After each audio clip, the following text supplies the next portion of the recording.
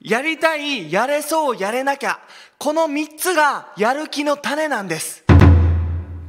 そういうことですよね。はい、こんにちは。ライフスキル教育講演家のミスターおかちです。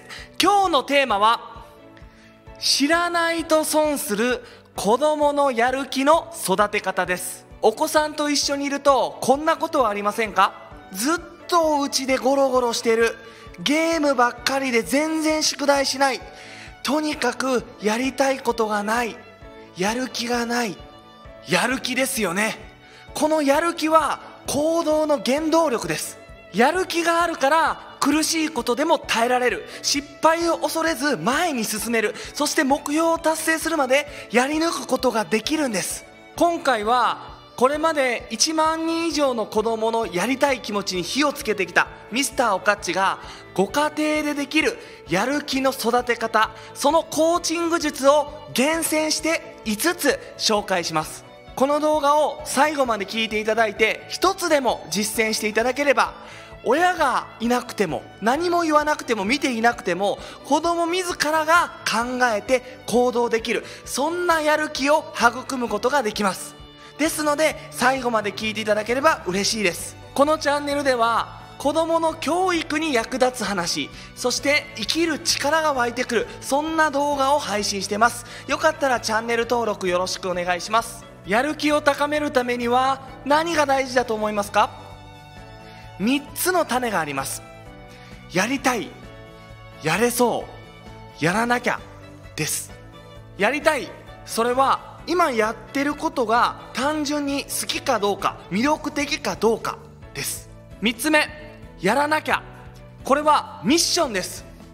今やってることがどうしても自分がやらないといけないことなのか。これをやった先にどんないいことがあるんだろう。それがイメージできているかです。あとはこれ明日までやらな先生怒られる上司に怒られるという危機感。それも含まれます。これらのやりたいやれそうやらなきゃ。このやる気の種の掛け算で人間のやる気はぐわーって高まっていくんです。本日はこの3つのやる気の種を育むための5つのコーチング術を紹介したいと思ってます。5つです。まず最初に言いますね。1つ目 G3 を与える。2つ目言うメッセージ。3つ目マジカルクエスチョン。4つ目成長を可視化する。5つ目親と一緒にやる。1番 G3 を与える。ゴールを示すんです。子供は自分で選んで自分で決めた時にやる気が高まります。ですのでゴールは与えます。だけどゴールに行くための道筋 How どうやったらいいのかは自分で考えてもらう。そういうことなんです。でそのゴールが G3 です。ちなみに G2 は中間ゴールです。そして G1 は今日具体的にやること。例えば G3 が4日間で漢字を40個覚える。これがゴールだった時に G2 は例えば、えー、漢字を20個2日間で覚える。そして G1 今日やることは今日漢字を10個覚える。っていうことになります。でこの時に今日漢字を10個やりなさい。これは G1 の指示になります。G1 それは子供にやることをも指示してしまってます。だから子供自身で選んで決めるっていう体験がないんです。だから内側からのやりたい気持ちに火がつかない。そういうことです。また何というか目標を見つけた時に目標を達成するためにはどうやったらいいんだろうって考える力も育っていきません。だから大切なことは G3 ゴールだけは伝えて G2 中間ゴールと G1 今日やることは子供自身に考えてもらうんです。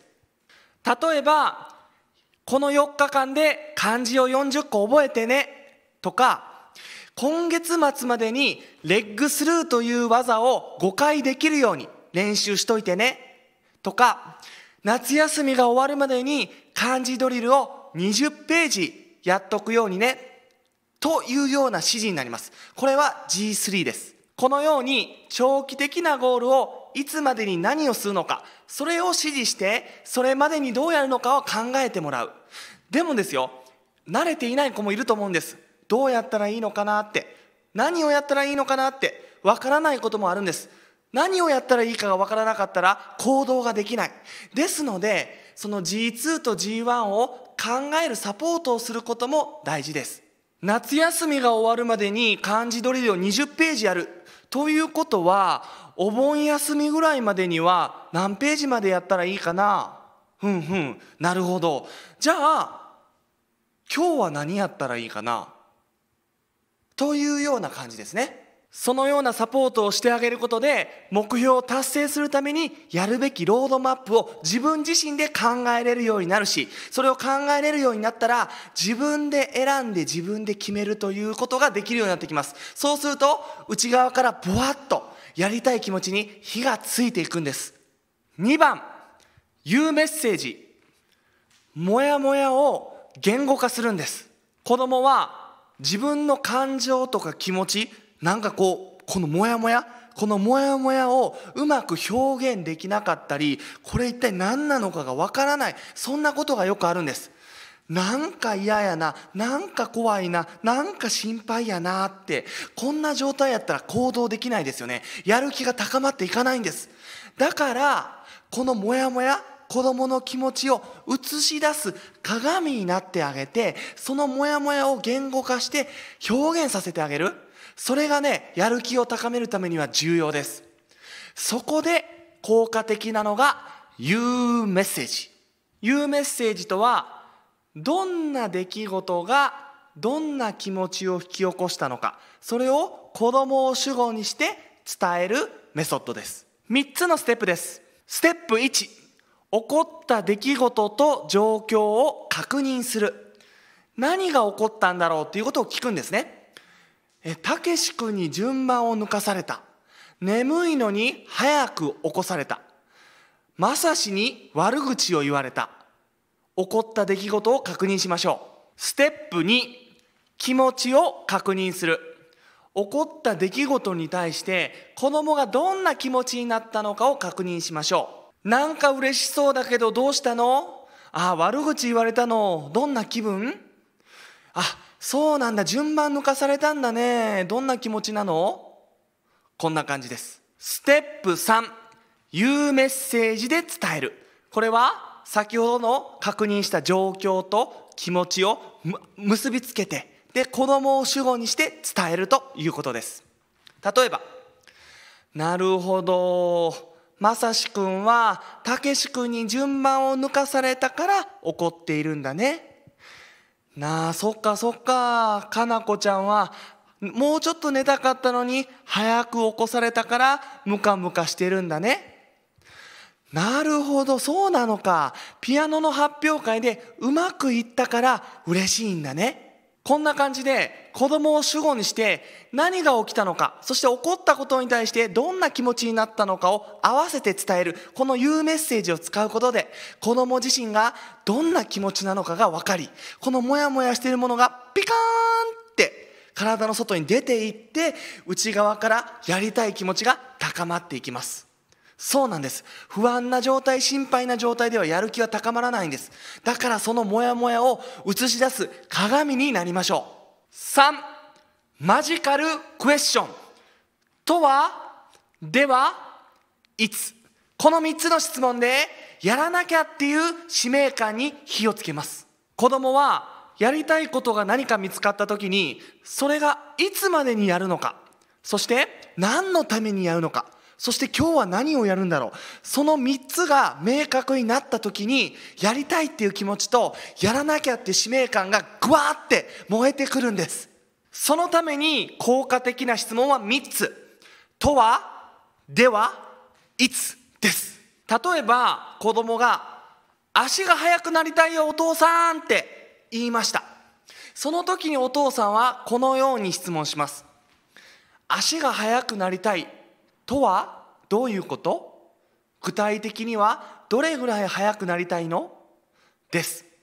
子供が言ったことを明確化するその質問がとはです。で子供はこう言います。50メートル走を9秒台で走れるようになりたい。そのように子供が答えたら次は2つ目の質問です。では50メートル走を9秒台で走れるようになりたいんだね。ではどうしたらいいんだろう。どんなことをやったらいいんだろう。この質問です。この「では」という質問で手段を明確化します。何をやったらいいのかどうやったらゴールに行けるのかです。そしたら子供はこう答えます。頑張る。努力する。一生懸命する。まだ曖昧ですよね。そのような曖昧な答えが返ってきたら一つ目の質問ですね。努力するとは何するの？一生懸命する。とはどんな練習するの？というとはの質問でもやもやした回答を明確化していきましょう。そしたら子供がこう答えました。50メートル走を100回ぐらい走ったり筋肉トレーニングをする。そのように答えたら最後の質問です。いつ100回ぐらい走るんだね。じゃあそれっていつやるの？筋トレするんだね。それっていつやるの？そして今日は何をするの？この「いつ」という質問で今日具体的にやることを明確化していきます。じゃあこう答えます。えー、っと学校が終わってから、えー、毎日3本走る。お風呂入る前に腕立て伏せを10回やる。このように子供がやりたいって言った時に「とは」という質問でゴールを明確にし「では」という質問で手段を明確にし「いつ?」という質問で今やることを明確化する。この3つの質問でなんとなくやりたいっていう気持ちがそれは絶対にやりたい。そして今具体的に何をやったらいいのかが分かっている。そのような状態だからすぐに行動に結びつくんです。でさらにこの3つの質問に1つ付け加えるとするならばなぜです？そもそもなんで足が速くなりたいの？この質問を1つ付け加えることで何のためにっていうミッション？足が速くなった先の良い世界自分が幸せな世界がイメージすることができて苦しい練習にも耐えうる力になります。4成長を可視化する。紙に書くんですよ。やったこととできたことを。これもできたあれもできた。その達成感とかゴールに近づいているその感覚がやりたいやれそうっていう気持ちに火をつけていきます。どんな方法でもいいです。机の前に紙を貼って折れ線グラフを作ってもいいし手帳みたいなものにやった時にスタンプを押す。どんな形でもいいです。とにかく子供子供自身が自分ができたということやったということ自分のプロセスとか自分の成長を自分自身に実感できるような形で可視化するということ。これとても大事です。特に大きな夢とか大きなゴールを目指している方なかなかゴールに行くには1年2年いや10年20年かかる場合もあります。そうなると進んでいく上でうちにちょっとねへこたれたり全然近づいてないわもうやめようできなさそうそんな気持ちが出てくるんです。でもですよ毎日これもできたあれもできたそれを自分で発見し自分で見て確認することでやりやれそうっていうその情熱の情熱がね持続するんです。めちゃくちゃ大事です。そしてその神を見てね子供自身でできたっていう感覚になるのはとても大事ですし親御さん自身もそのやったということできたということを認めてあげてください。褒めてあげてください。結果を評価するんじゃなくて結果が出るまでのプロセスとか努力とか準備とかそこに目を向けてそこを褒めてあげる。これとても大事だと思います。5つ目。親が一緒にやる。もしかしたらこれが一番効果的かもしれません。もう子供はとにかく親がやってることを真似したいとかやってみたいという気持ちになりますよね。だから親自身が子供にやってほしいことをあれやりなさいこれやりなさいって言うのではなくて親自身がそれを楽しんでやっている。その姿を見せるということ。そうするとやってみたいという気持ちとかやれそうっていう気持ちが高まっていくんです。読書しなさい!じゃなくて親が一緒に本を読む。早く起きなさい!じゃなくて親が早く起きて楽しんでる姿を見せる。英語勉強しなさい。じゃなくて英語を勉強して楽しそうに外国人と話している。その姿を見せる。勉強やらないと将来困るよ。じゃなくて読書しないと頭良くならないよ。じゃなくて勉強を楽しんでる姿を見せる。読書を楽しんでる姿を見せる。やってほしい行動があるんだったらやりなさいではなくて自分がやって楽しんでる姿を見せる。これがねめちゃくちゃ説得力があるんです。はいという感じで子供のやりたいやれそうやらなきゃ。この3つの種に火をつけるための5つのコーチング術を紹介させていただきました。まとめです。1つ目。G3 を与える。ゴールを与えて中間ゴールとか今何をやるのかは子供に考えてもらう。もしくは考えるサポートをするということ。2つ目言うメッセージ。子供は自分の気持ちこのモヤモヤが何なのか分からずに一歩踏み出せずにいる。そんなことがよくあるんです。だからこのモヤモヤを映し出す鏡になって子供の気持ちを言うメッセージで伝えてあげるということ。3つ目マジカルクエスチョン。とはではいつ。そして何のためにです。やりたいって思ったことがなんとなくではなくていつまでに何をやるのか。そして何のためにやるのか。そこが明確になったらやりたい。そしてやらなきゃ。やれそう。っていう気持ちに火がついていくんです。4成長を可視化する。そうなんです。やったことできたことを子供自身で見て分かるようにいつでも見える場所に貼っておくということです。5親が一緒にやる。あれやりなさい。これやりなさい。ではなくてそれを楽しんでる姿を一緒に見せたり一緒にやって楽しむということ。これ大事ですよね。5つ紹介しましたけどいきなり5つやるのはちょっと難しいかなと思いますのでどれか1つどれでもいいです。どれか1つをまずは7日間1週間続けてみてください。少しですが少しでかもしれないですけど子供さんの変化がお分かりいただけると思います。はい以上になります。少しでも参考になったなって思う方はいいねボタンを押していただけるとめちゃくちゃ嬉しいです。こんな感じで子供のやり抜く力とかやる気とか自己肯定感を育むそんなコーチング術を実は今ノートに100個ぐらい、えー、書いています。ですのでもしあの興味がある方がいらっしゃったらこれからも継続していきたいと思いますのでぜひコメントも残していただけたら嬉しいです。こんな感じでミスターおかっちのチャンネルでは子どもの教育に役立つ話そして生きる力が湧いてくるそんな動画を配信してます。よかったらチャンネル登録をよろしくお願いします。はいということで皆さんワンダフルな一日をさよなら。やる気を燃やすぞ